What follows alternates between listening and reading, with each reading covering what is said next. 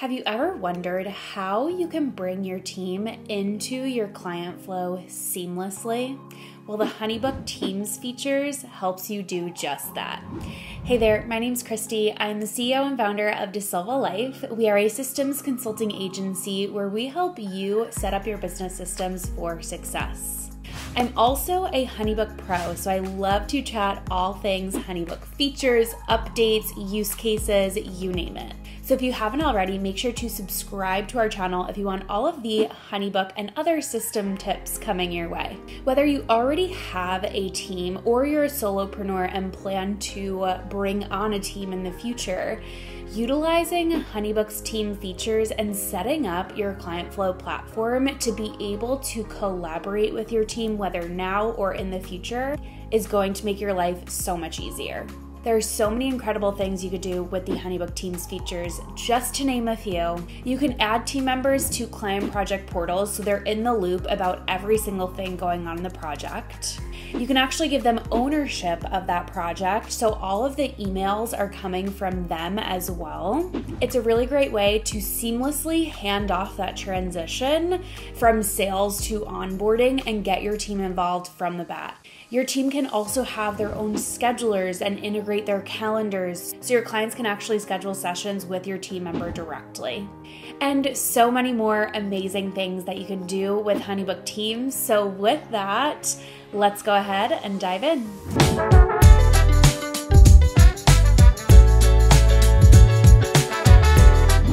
So let's chat Honeybook Teams. So before we dive into the different features, let's first address where you can find the team function and how to add your team members. So when you come into your Honeybook in the top right corner, you're going to see your photo and you can see my account and then the company settings. When you click on company settings, then you're gonna wanna go to the sidebar and click on team. And here is where you'll be able to invite team members. So you'll be able to put their work email, full name. You don't have to put phone and mailing address, but you can if you want to. And then you're gonna choose their role. So when you click on basic, moderator, admin, super admin, you can see what they can and cannot do. So I urge you to go through and decide what level of permissions. Um, basically, Basic can create and send files, create and edit templates, create and edit automations, edit library files and images. They can't see other team members' projects, add or change permissions, edit pipeline stages, access bookkeeping, access bank details, and view contacts. Moderator can do a couple other things, but they cannot change permissions, create emails or files in other users' projects, edit pipeline stages, bookkeeping and bank. Admin cannot create new files or edit pipeline stages, access bookkeeping or the bank information. But you can see they have a little bit more permissions, and then super admin can do basically everything. Um, so you can decide what level that you want your team members depending on their role and what they need to do inside your account.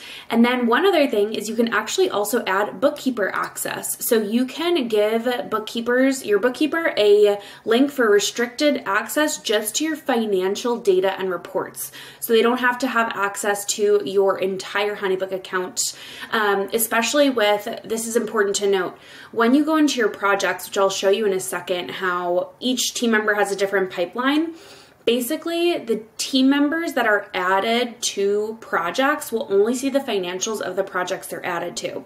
So having the bookkeeper access, they won't have to be on the project portals to see the finances or log into your account, but they'll be able to see all the financial data that they need. Okay, so then you could see emails. Um, send me an email whenever a client makes a payment to a team member or signs a team member's contracts. And then do you want to allow all team members' calendars to be visible to everyone? So this is where you are going to be able to invite team members, set their permissions. As you can see, this is only editable by the company owner.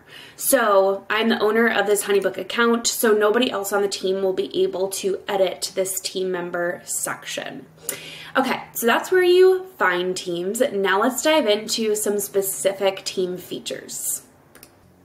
So now when we navigate over to the projects pipeline, you can see that different team members can have different project pipelines. So you can see, okay, I'm added to 81 projects. Andrea's added to 19. Jeff is added to 84. So, what does that mean? That each team member may be added to specific projects that they have insight into, and you can click on their pipeline to see what theirs looks like. So, if I click into Smith Roofing, John Smith's project, you can see that Jeff and I are both added to this project. If I want to add any other team members, I can just go over here and click additional team members and add them to that portal.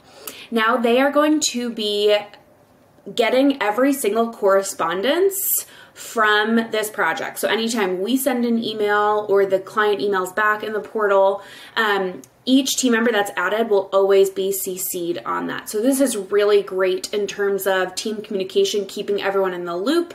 But also, this is where it might get tricky because you're like, okay, I want Andrea, our project manager, on the project, but not until the client signs because she doesn't need to be inundated with the lead and sales process.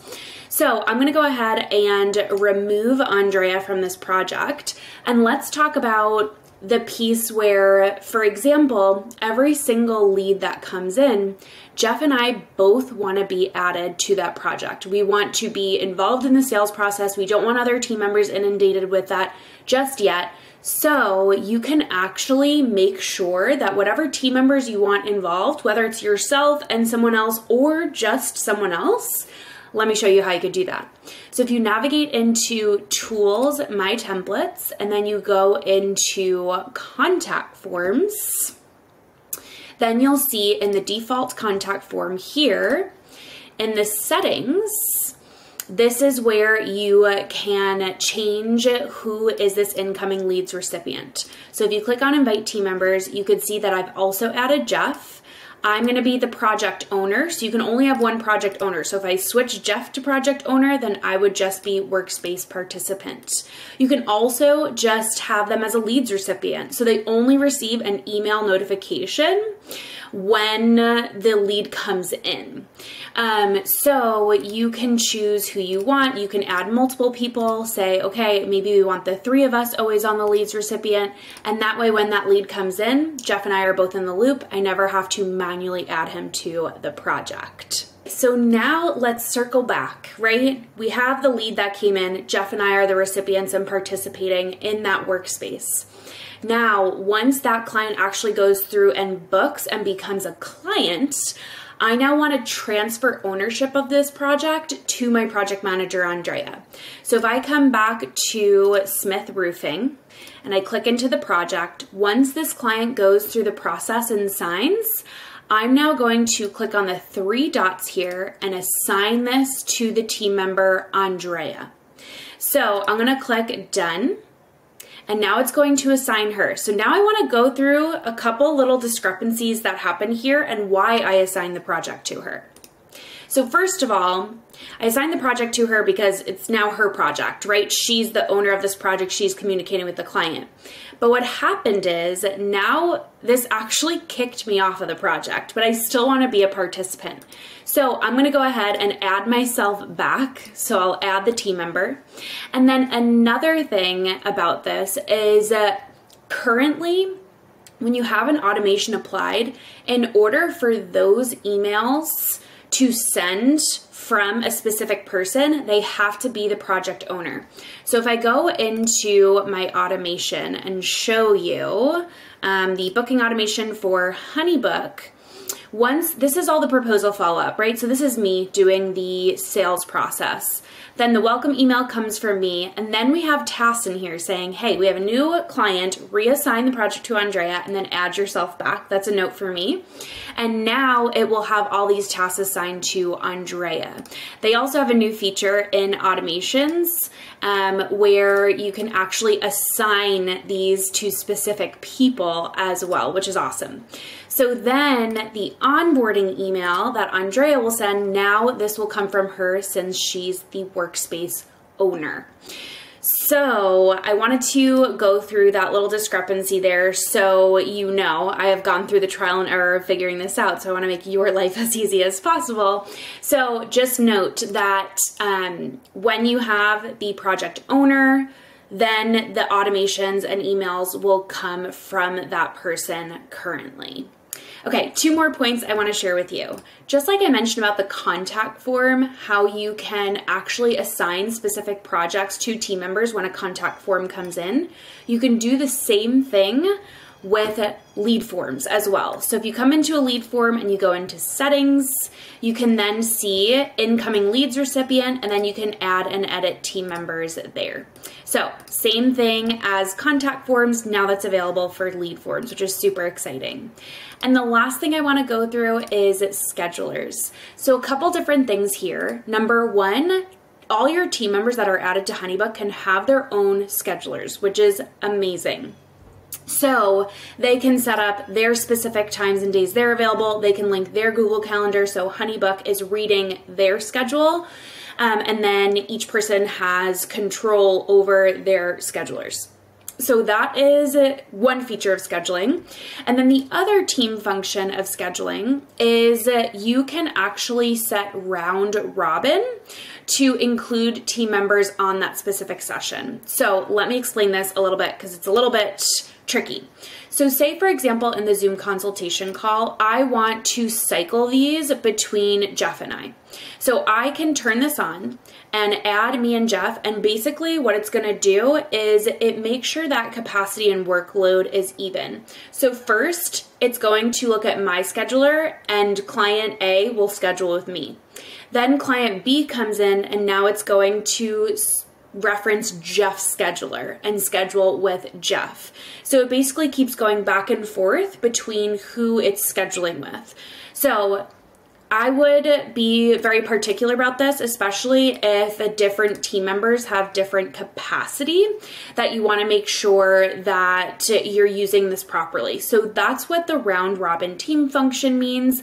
I am hoping in the future they will have where you can add team members to calls and instead of round robin, it's just reading both of your schedulers. Like for example, our Honeybook kickoff call, uh, my team member and I, Andrea, are always on those, so I would love if we could sync that up together. But hopefully in the future, the round robin is still cool for when it is useful. So that is it when it comes to Honeybook team features. Honeybook really has changed the game by allowing you to collaborate with your team in your account with your clients, keeping everyone in the loop. So I hope this was helpful for you, whether you have a team or you are looking to grow your team in the future. So I hope that tutorial was helpful for you in learning the power of Honeybook Teams, how you can set it up for your business, what the functionalities even are, and some tips and tricks on how to really maximize this feature for your business. If you like this video, please make sure to give it a thumbs up and subscribe to our channel. And this is just one feature and use case of Honeybook, but there are so many other amazing things that you can do with it. So if you want more tangible examples or a deep dive a bit further, go ahead and check out our on demand webinar called Unlock the Potential of Honeybook. In this webinar, I go through multiple different use cases, industries, and a bunch of different tips to really get you kickstarted with Honeybook. I'll make sure to link that in the description below so you can sign up and watch it today. With that, thanks again for watching, and I'll see you next time.